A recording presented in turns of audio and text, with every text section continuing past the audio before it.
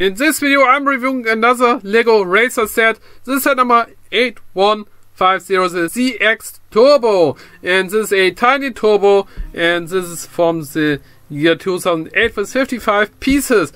It's kind of like Hot Wheels, but it's a lot better than Hot Wheels for sure. That's uh, the features there. You can the uh, pieces glow in the dark, and these are lightsaber blades, so that would be awesome.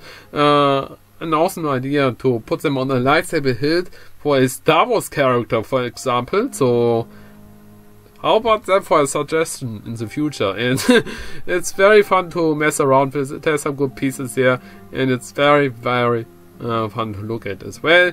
And really like the tiny turbos line. There's instruction mistakes and pieces. And if you want me to do more Lego videos in the future, uh, subscribe to my channel, hit the bell for notifications, like this video and share this video with the social media platforms. And there is the canister.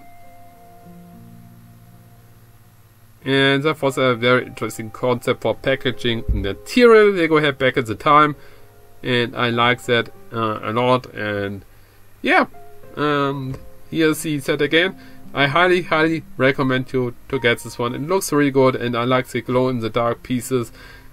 I hope we get more of those in the future. That would be very, very awesome. I like that a lot, especially the lightsaber blade. And uh, it is very fun to mess around with as well. So definitely go get it. If you don't have this set yet. It could also be a polybag um, modern uh, Lego day.